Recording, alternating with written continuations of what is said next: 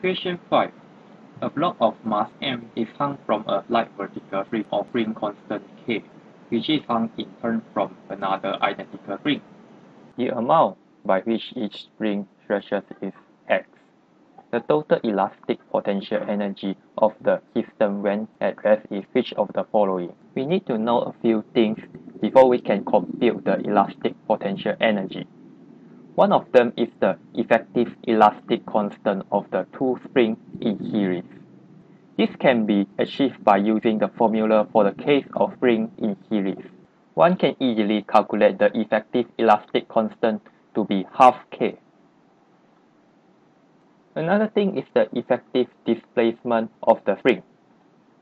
According to the question, each spring stretches by x. So in total, the displacement is 2x.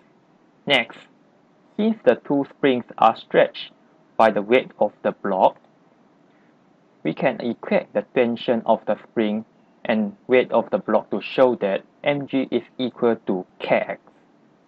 This step is crucial to introduce the mass term into the expression of elastic potential energy in the final result.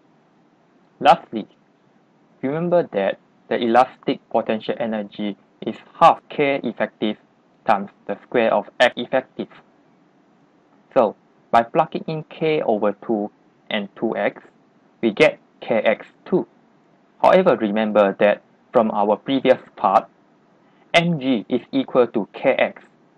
So we can further get our final result to become mgx. And so, the answer is B.